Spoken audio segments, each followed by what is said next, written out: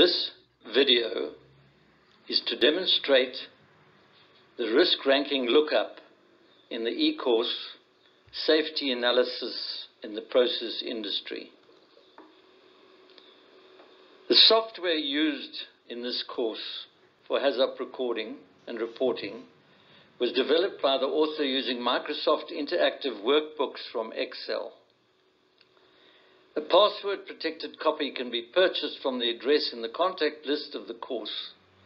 It allows access to all the cells in the spreadsheet except for the risk matrix risk ranking. The HAZOP record form, a copy of which is shown on this slide, is the most important tool to document the findings of the team during the PHA or process hazard analysis. As we are only considering one node in this example, we will only be completing the one spreadsheet and it will be automatically listed as node 1 on the spreadsheet in column 1.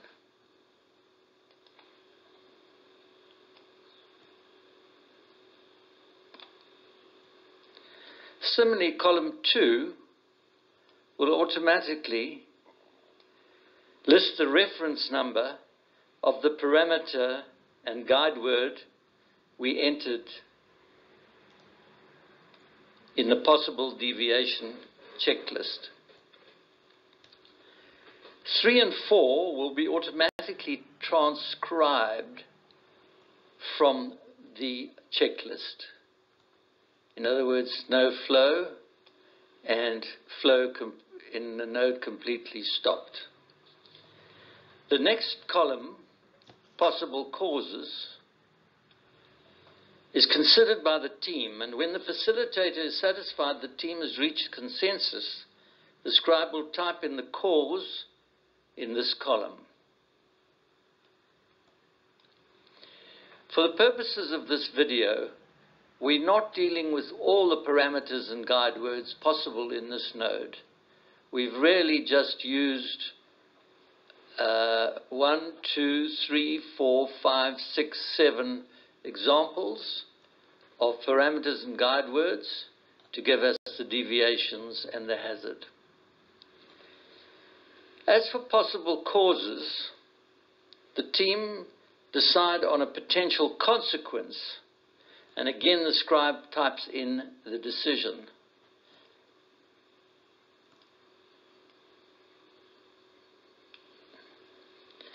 The next two columns, S for severity and L for likelihood, are a numeral for S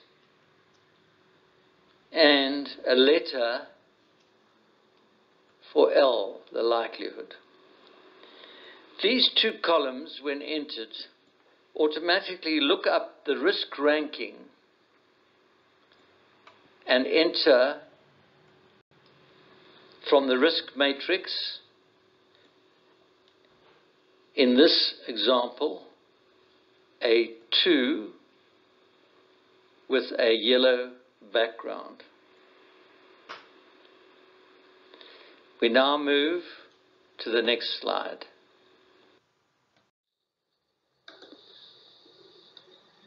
Most companies that have risks inherent in their everyday operations produce an in-house risk matrix which is used to examine risks and mitigate them where possible.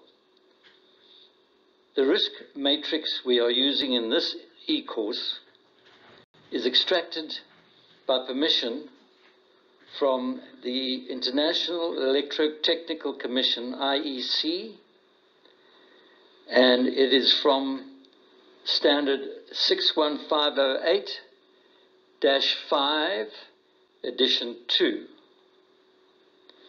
It also thanks the Commission for permission to reproduce information from its standard.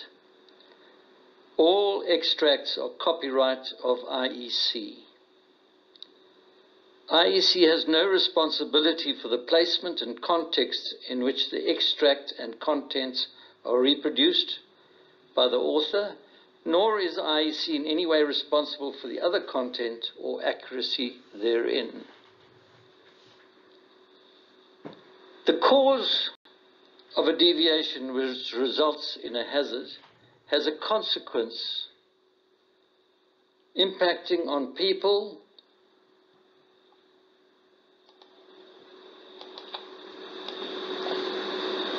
assets, community, or the environment. This consequence is ranked for each category from a severity of 1 to a severity of 4.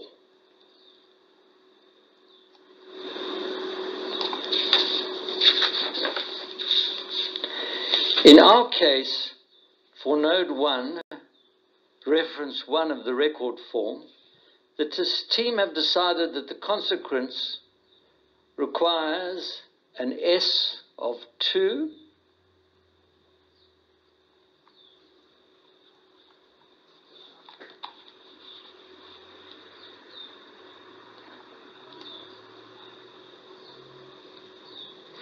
and a likelihood of D. This automatically enters, after looking up, a risk ranking of 2 and a yellow background, which indicates a high undesirable risk. This is found from the risk ranking table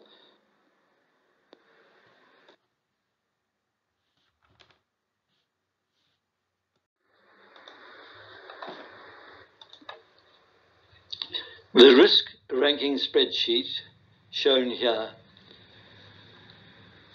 shows the different risk ranking blocks. Red for class 1 or for a very high intolerable risk which is not acceptable to a class 4 the light blue which is a low negligible risk.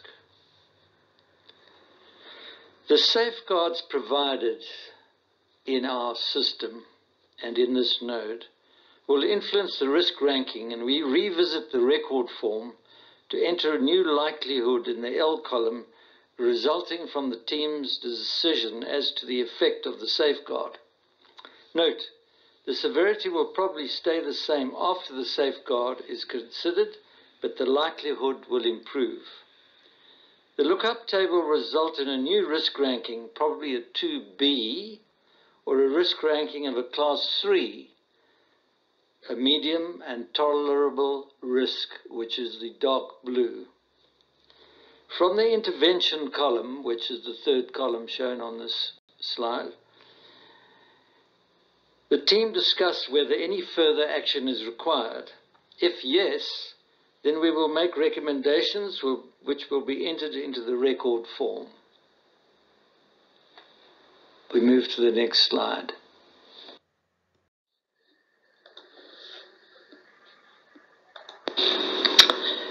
We now enter the safeguards inherent in the system, having found what the risk ranking is of this hazard. And the safeguards, as we've shown in the previous slide, must be identified to see if it can detect, prevent, and mitigate a hazard. In this case, the safeguard to prevent no flow is simple in that all that is required to prevent the battery limit or inline valves to be closed is for operator training. And we also have the SCADA system, the Supervisory Control and Data Acquisition Control System, which will alert the operators as to the position of the valves and in so doing prevent their closure, which would cause no flow.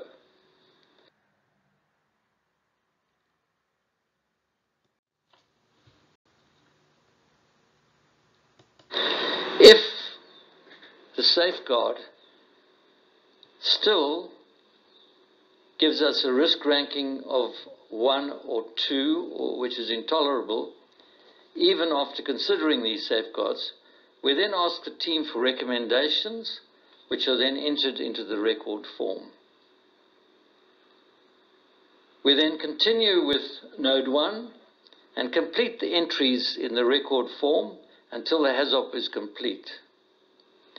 Note, it is important to save the spreadsheet periodically, otherwise the work obviously will be lost.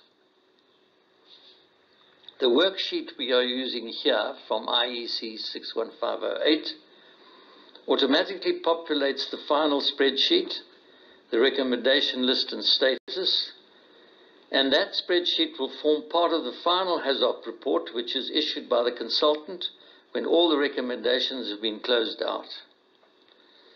The final report issued by the facilitator will contain copies of some of the HAZOP spreadsheets.